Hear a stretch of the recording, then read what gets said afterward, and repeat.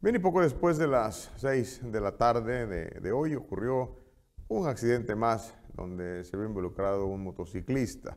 Esto fue ahí en la Avenida Independencia, justo frente a la panadería de nuestro amigo Felipe, Felipe Tulipán, como le conocemos, ahí donde están las clínicas del doctor Raúl y Rafael Martínez. Y bueno, de acuerdo a lo informado por personal de protección civil.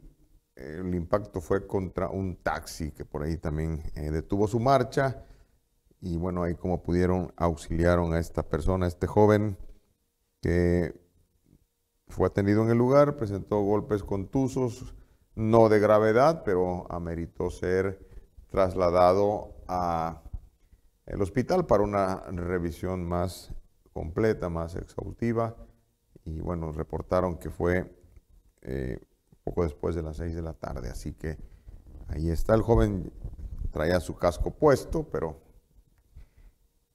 no dan más detalles, quién fue el que originó el accidente o cómo estuvo, eh, si fue el exceso de velocidad o la imprudencia del taxi o la imprudencia del motociclista. El caso es que cada quien daba cuenta de su versión de lo sucedido. Hay que seguir teniendo mucho, muchísimo cuidado con esta situación.